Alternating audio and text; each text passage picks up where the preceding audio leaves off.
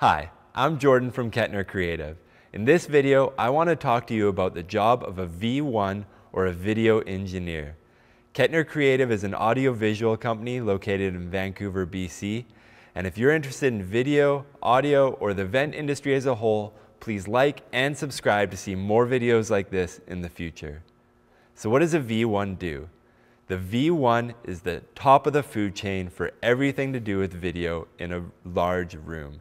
A large room I define as anybody, any room that has more than 500 guests. That's when you would typically bring in a V1.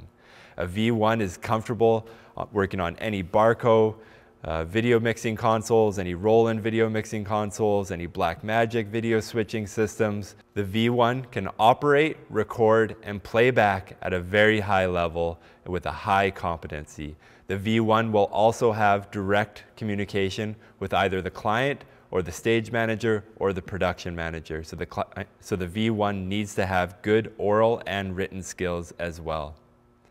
If you have more questions about the role of a V1 or a video engineer, please comment in the comment section below and don't forget to like and subscribe to see more videos like this in the future. Thank you.